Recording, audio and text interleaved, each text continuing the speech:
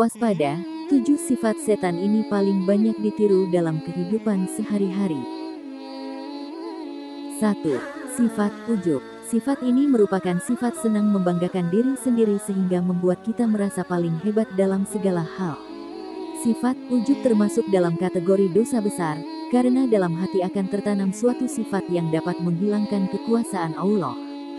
Allah berfirman dalam Al-Quran Surat Al-Aqraf ayat 99, maka apakah mereka merasa aman dari azab Allah yang tidak terduga-duga? Tiada yang merasa aman dan azab Allah kecuali orang-orang yang merugi. Quran Surat Al-Araf, 99.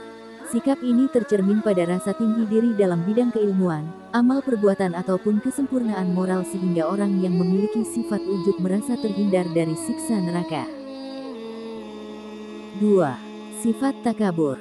Sifat ini harus dijauhi. Takabur adalah sifat dan perbuatan yang merasa dirinya lebih segalanya dan menilai orang lain lebih rendah. Setan memiliki sifat ini karena menganggap dirinya lebih baik daripada Nabi Adam alaihi salam. Allah Ta'ala berfirman, Allah Subhanahu wa Ta'ala berfirman, "Apakah yang menghalangi engkau sehingga kamu tidak bersujud kepada Adam ketika aku menyuruhmu?" Iblis menjawab, "Aku lebih baik daripada dia. Engkau ciptakan aku daripada api dan sedangkan dia engkau ciptakan daripada tanah." Quran Surat Al-Aqraf 12 sebagai mukmin, kita perlu mendekatkan diri kepada Allah dengan berbagai cara agar dijauhkan dari sifat takabur ini. Seperti menumbuhkan rasa saling menghormati antar sesama dan selalu bersyukur kepada Allah Subhanahu wa taala. 3. Sifat sombong. Jauh sebelum Nabi Adam alaihi salam diciptakan, iblis merupakan makhluk yang taat. Iblis merasa dirinya jauh lebih mulia dari Nabi Adam, sehingga merasa tak pantas untuk bersujud kepadanya. Karena hal itu iblis dikeluarkan dari surga.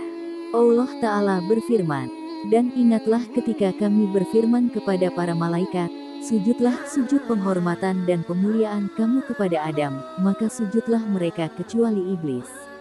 Namun ia enggan dan sombong dia termasuk golongan orang-orang yang kafir. Quran Surat Al-Baqarah 34 4. Sifat menggoda. Maksud menggoda di sini yaitu adanya percakapan hati yang dibisikkan oleh setan.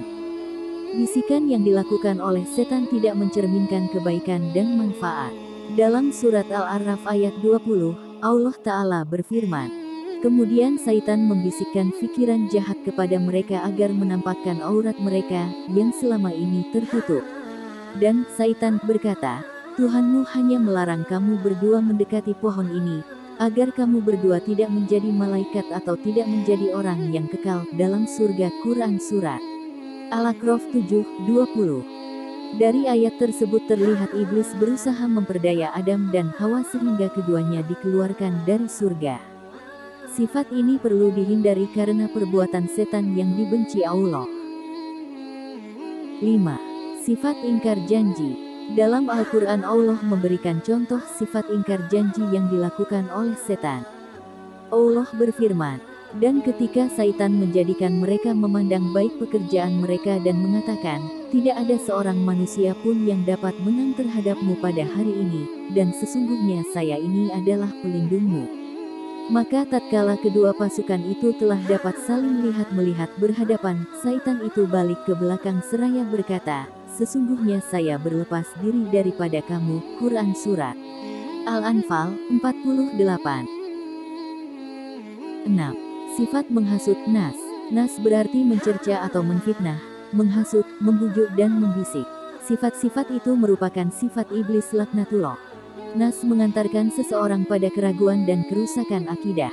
Allah subhanahu wa ta'ala berfirman, dan jika kamu ditimpa sesuatu godaan setan, maka berlindunglah kepada Allah.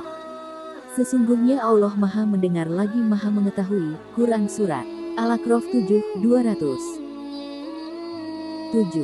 Sifat hasad atau dengki Dengki merupakan perasaan batin yang tidak senang terhadap kenikmatan yang diperoleh orang lain.